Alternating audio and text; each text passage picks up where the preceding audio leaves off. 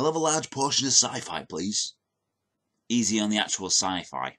Yes, I've been buying VHS tapes again. But this one's a bit of a weird one because it has no pictures of what the film is on the back.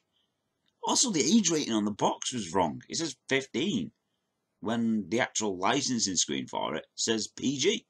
The film itself is generally just an okay film. It's the type of thing you can put on in the background. Something you don't need to pay attention to because the plot is as it says. The science fiction elements are sparse. Let's just say there is very little science fictiony stuff going on. Apart from, oh, he's a cyborg. Look, he has a cybernetic thing on his arm. So don't expect a lot of science fiction babble. Also, don't expect a lot of special effects, because this film is severely lacking them. The pod where he went back in time just vanished. No wobbly bits. In the end, it's the type of film you just put on because you want to watch something, but not really understand what's going on. Just one of those 60s science fiction films which is just generally